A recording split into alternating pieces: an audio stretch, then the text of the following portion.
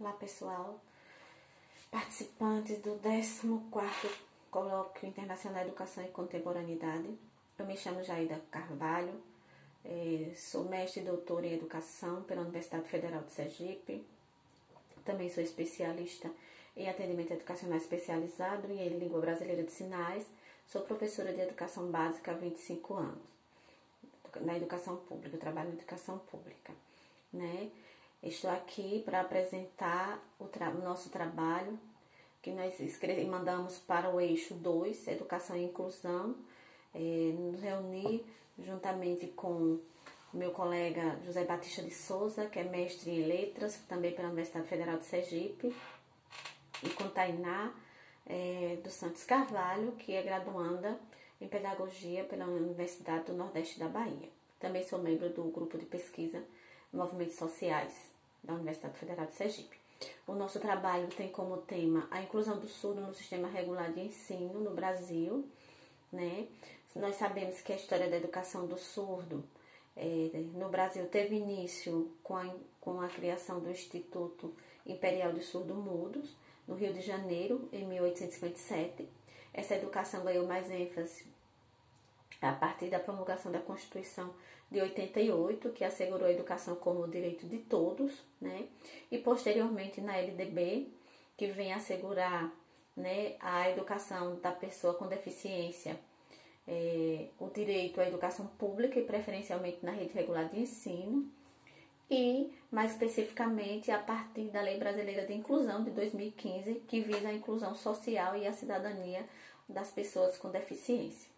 Né? Atualmente, a gente tem percebido que a inclusão, que a exclusão do sujeito com deficiência é notória em toda a sociedade, quando se trata é, quando se trata do contexto escolar, esse fato não se torna ainda mais evidente, visto que os pais dos alunos com algum tipo de deficiência enfrentam muitas dificuldades né, em encontrar vagas para matricular os seus filhos nas escolas públicas, uma vez que a escola não, é, não se sente preparada muitas vezes para receber esses alunos e quando encontra, quando esses pais encontram as vagas, ainda permanece com alguns obstáculos, né?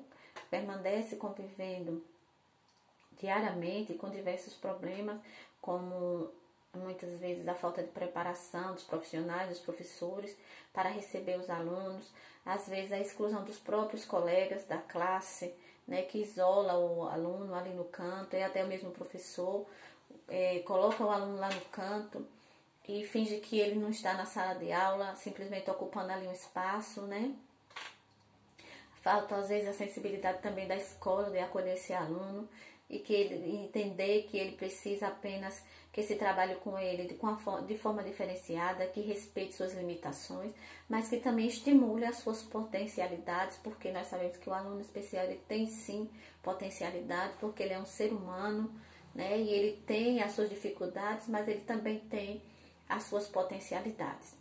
É, quando nos referimos ao aluno surdo, né, inclusão se torna ainda mais difícil, porque nós sabemos a dificuldade que é, a rede pública tem em ter um professor bilíngue, né?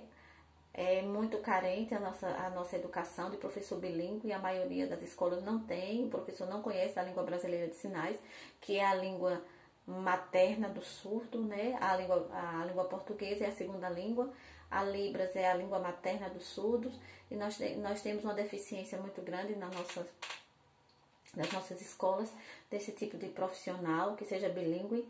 Então, eles precisam de um intérprete na sala para auxiliá-los no trabalho com surdo e às vezes é, não tem. E aí se torna ainda mais difícil né, a comunicação, tanto do professor com o aluno, quanto do aluno com os próprios colegas. Né?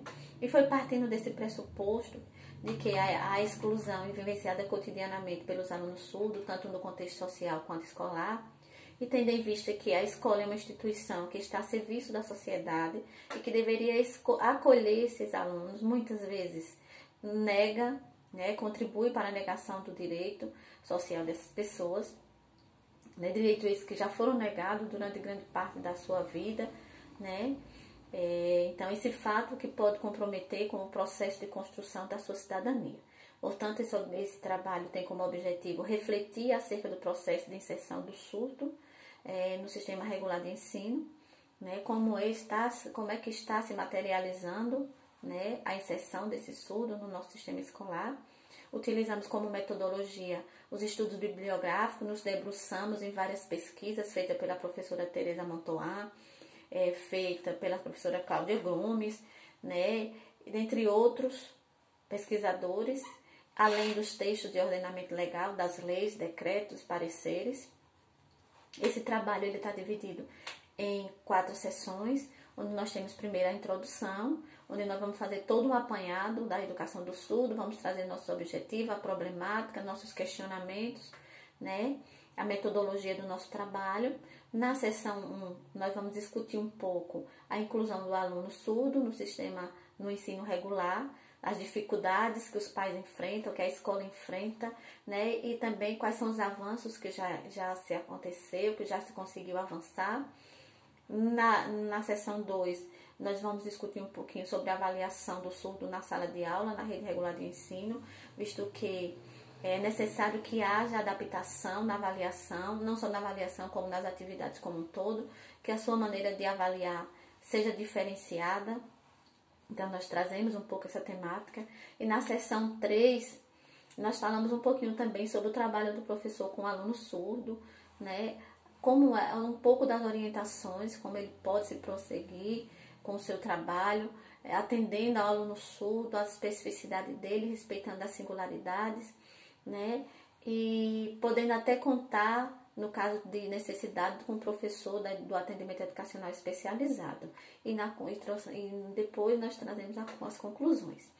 Então, diante de tudo isso, o que foi que nós percebemos? O que é que nós trazemos como considerações finais desse, desses estudos, desse trabalho?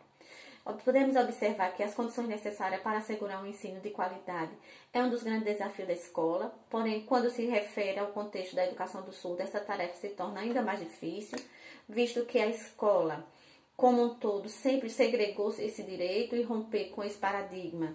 É, exige um esforço muito grande que advém não somente da escola, mas também de uma sociedade que sempre foi excludente e preconceituosa com os alunos deficientes, com as pessoas deficientes.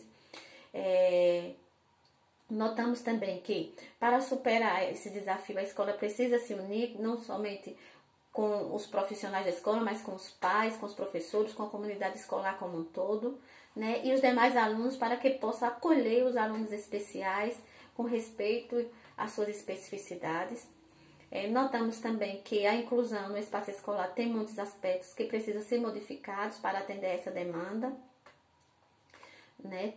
É, tão especial que são os alunos com necessidades educacionais especiais e que já existe grande avanço nos espaços da rede regular de ensino para esse atendimento, mas ainda é preciso que haja muitas mudanças nesse contexto. E no caso do aluno surdo, é necessária, além da inclusão escolar, a presença de um intérprete em sala de aula, né? Para auxiliar tanto o professor, se esse não tiver o domínio da língua de sinais, quanto o aluno, a mediação do aluno com os próprios colegas, né? É... Observamos também que, nesse contexto das conquistas já alcançadas através da promulgação das leis que tratam dos direitos e deveres dos alunos com necessidades educacionais especializadas, dentre estes, os surdos né, potencializam sim a inclusão destes no contexto escolar. Essa potencialização vai desde seu direito à matrícula na, na rede regular de ensino, ao apoio ao atendimento educacional especializado na AEE, né, na sala de recursos multifuncionais e, desde, e também a presença do intérprete em diversos espaços.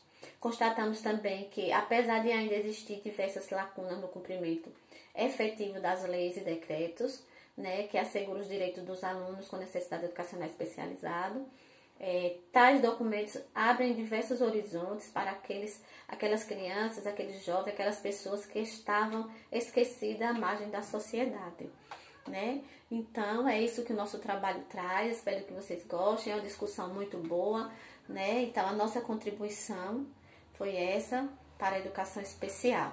Então fiquem todos em paz.